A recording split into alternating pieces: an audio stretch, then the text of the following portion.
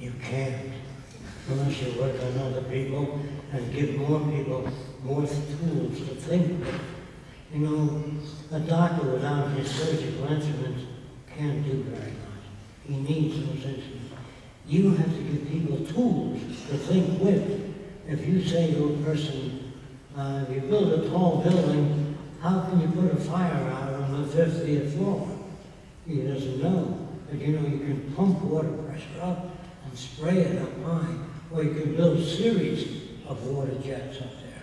But if, they, if you don't give them the tools to think with, you know, when you go to engineering school, they show you things like, uh, they, uh, Aristotle once said that a heavy object falls faster than a feather. But if you put them in a vacuum, they both fall at the same speed. So a guy wrote a book called Non-Aristotelian Logic against Aristotle.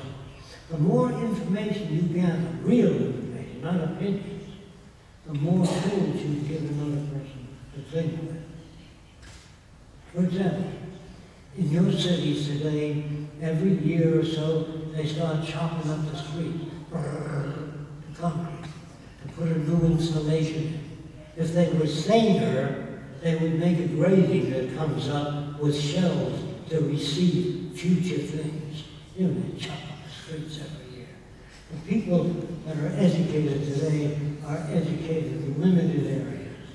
The kids of the future, when they're very young, will talk about geological problems, forestry problems, agricultural problems. Kids can learn anything. That's why I'm so against the Mickey Mouse Club because you're filling their head with nonsense. So the kids of the future, kids always ask wonderful questions. I remember a kid saying to mother, how come your belly's getting big?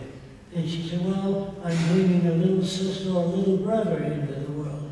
And the little girl said, don't you like children? And mother says, I love them. And the kid said, why did you eat her? No, if you don't level with your kids, they get confused. If you want them to be brilliant, you have to start real early and go to work on it. Be honest. Don't talk about Santa Claus or the stork brings a baby. Where's the stork get it from? You know, kids are not that bad. We love them. Thank you again.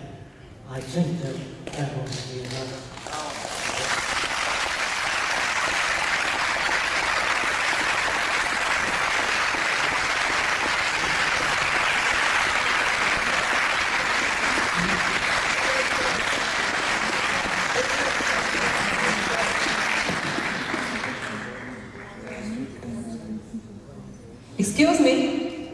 Sorry, uh, up in the balcony. I would just still ask you if you ever connected with other alternative communities, for example, Damanhur in Italy. Have you heard of it?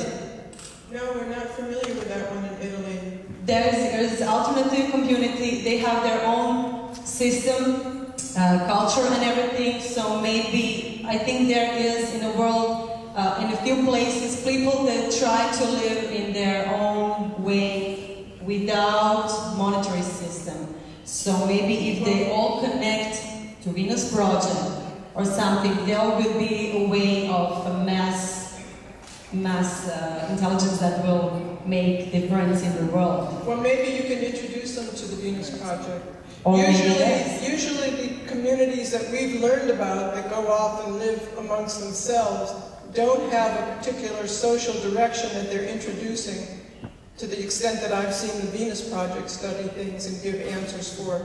But um, I think some of them that we've seen are making great progress in certain areas. Well, actually, they exist for almost 30 years, but they are very close to themselves. And uh, I think if those alternative communities commu communicate among themselves and can make this kind of uh, uh, scoop, uh, I don't know the word, maybe we can all uh, talk together. Sure, we're all Yeah. for it. Thank you. Sure.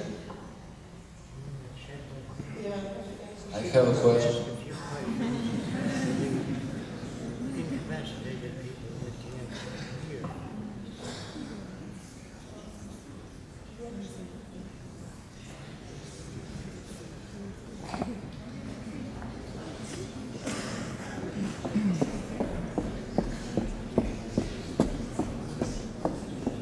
guess that's, that's about it. Yeah, no, I mean, unless you want to take any more questions. Well, on the way out. Okay, thank you very much for coming. And please check our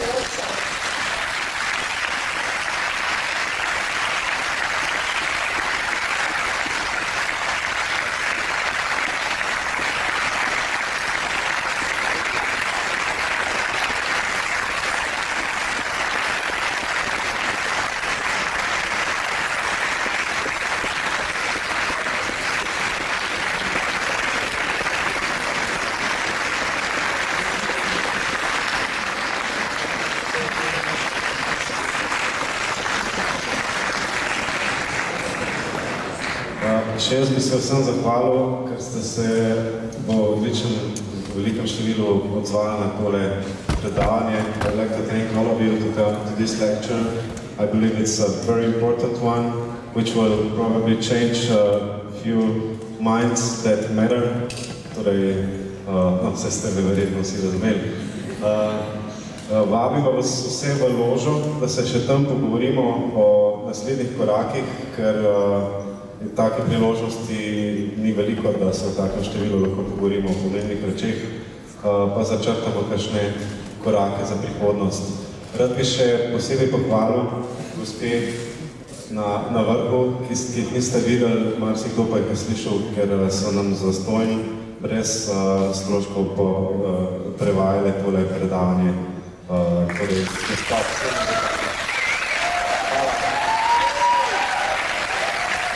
prvenstva, kar je bilo v Kremljstvu. Ogromno je bilo zadnjih ščica 15 ljudi, ki na to dela, da smo to veska obspravili. Tako da hvala ekipi Cajbe Slovenija in časa.